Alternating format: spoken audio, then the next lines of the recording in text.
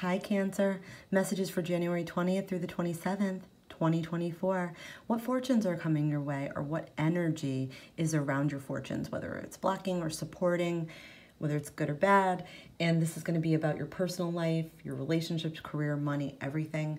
If you guys want to book a reading with me, you could do so through my Etsy. It's safe and secure, and I don't DM and I don't solicit and I don't say there's a reading waiting for you from your ancestors. I don't do that.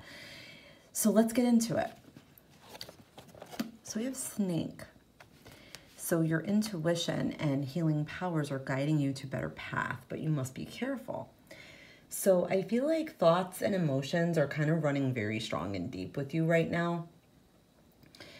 I do feel like you need like alone time. You need some time to kind of sort things out. You need time to, you know, make sense of things and you might not get that. You might feel like way overly bombarded with people and people's energy. Your intuition is stronger than ever. It has been developing the last few months like crazy. And I do feel like it's guiding you to a new, luckier, more abundant, more fruitful path. But you got to be patient. All of this right now has been a test of your patience to the extreme. Whenever you're ready to throw in the towel, don't, because that is the test. I know that it seems unfair. I know that it seems like you've been through so much in the mill and you know nothing's going right and, and you take two steps forward but 10 steps back. It's not it, it it's like an illusion. So I feel like you will feel more driven to succeed because of this in all areas. And failure or loss will be devastating. So be careful. I feel like jealous people may strike. Jealous people, you know, people might be jealous of you for a multitude of reasons. It could be because you lost weight. It could be because you have a new relationship. It could be because you have a house and they don't. It could be because you have kids and they don't. It could be because, you know, maybe whatever, you're just a nice person and people just hate on that.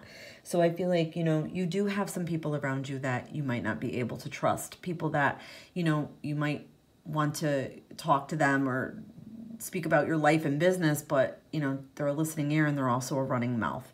So try to be careful of that.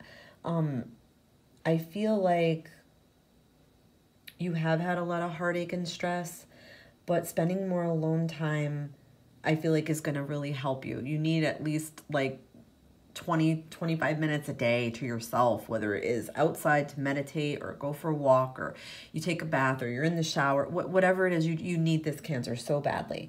Spending more time alone than usual might make friends and family feel a little bit like neglected, but you need this. Um, this is good for the soul, okay? And it's useful in your planning the next move and what you want to do. I feel like if you're single, you might be stuck on past relationships and rejections and endings that, you know, maybe you couldn't fix or, you know, or, you know, you're still blaming yourself. And if you're single, it could be like you're getting attention, but it's not the attention you want. It's, you know, not meaningful. So it's time to stop dwelling on the past and move forward. Forget about all of that. Um, you know, I feel like work on yourself, take care of your health concerns, be careful with your diet, be careful with exercise. Like, you know, don't overdo it, don't underdo it. Get your necessary checkups, plenty of fresh air, drink enough water, um, you know, take a walk. Do these things for you it's a time for you to focus on you because look, you're about to shed your old skin again. So it's like the snake, when it's going to shed its skin, it has to go in almost like a little bit of a hibernation type thing. So that might be like what you're feeling right now or what's going on.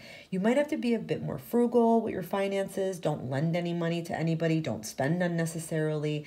Um, a money making idea could come your way. So it's exciting too. Like I feel like a good project or you have good light good light, good luck around a project. Um, and yes, good light and love and all of that all around it. So try to just hang in there, Cancer. Check back next week.